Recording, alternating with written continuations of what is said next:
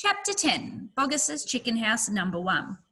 This time we must go in a very special direction, said Mr. Fox, pointing sideways and downward. So he and his four children started to dig once again. The work went much more slowly now, yet they kept at it with great courage, and little by little the tunnel began to grow. Dad, I wish you would tell us where we are going, said one of the children.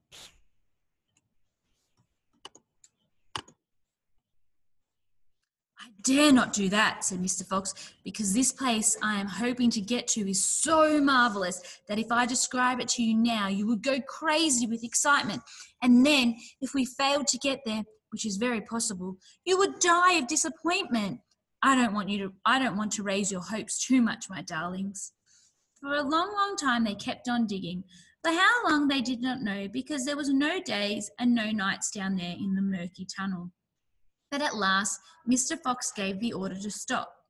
I think, he said, we had better take a peep upstairs now and see where we are.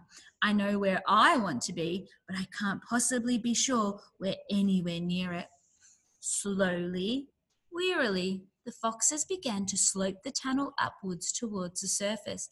Up and up it went until suddenly they came to something hard above their heads and they couldn't go up any further. Mr. Fox reached up to examine this hard thing. It's wood, he whispered. Wooden planks. What does that mean, Dad? It means, unless I am very much mistaken, that we are right underneath somebody's house, whispered Mr. Fox. Be very quiet now while I take a peek.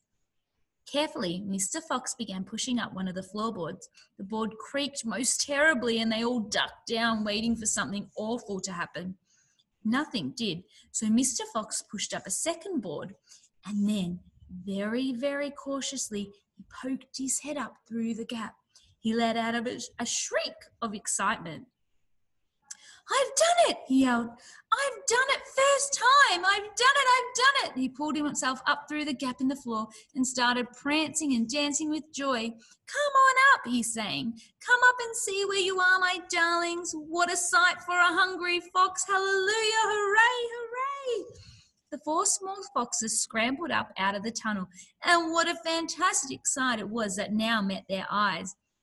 They were in a huge shed, and the whole place was teeming with chickens. There were white chickens and brown chickens and black chickens by the thousand.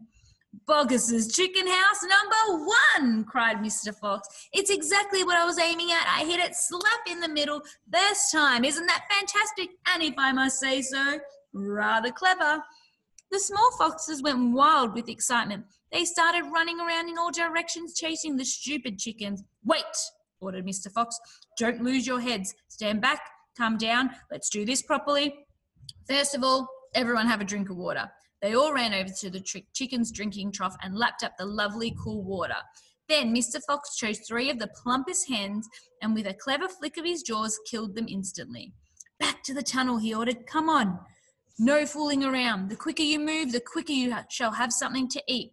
One after another, they climbed down through the hole in the floor, and soon they were all standing once again in the dark tunnel. Mr. Fox reached up and pulled the floorboards back in place. He did this with great care. He did it so that no one could tell that they had ever moved.